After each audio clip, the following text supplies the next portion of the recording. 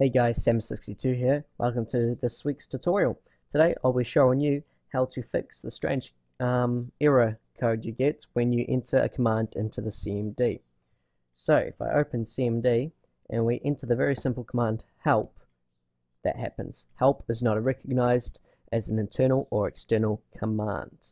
So that is caused by the path file and the environmental variables being changed to match something else.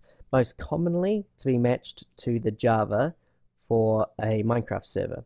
So if you've had a Minecraft server on this before and you had this come up when you tried to start the Minecraft server and you googled it and fixed it, this is now causing this error. Error, rather. So to fix this, um, you're going to have to change that path back to what it was default.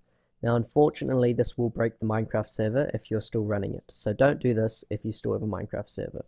So we're just going to shut this down um, and go into your start menu, right click on computer and click properties. Then up here in the, uh, in the corner up here you want to click advanced system settings.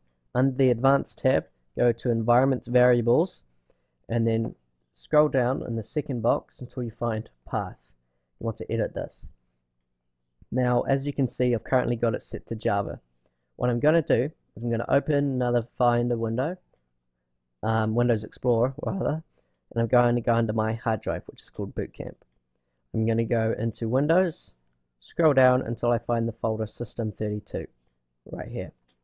Now I'm going to click up here, get the link, Control C, copy it, and then paste it in the path box. Now that is done. Just click OK to all that. Now, this should work. I hear from a lot of people that they have to restart their computer before it takes effect, effect, but for some reason I don't have to do it. So if it doesn't work the first time, restart your computer, try again, hopefully it'll work then. So yeah, just do one more test, show you that it's working. There we go, definitely working.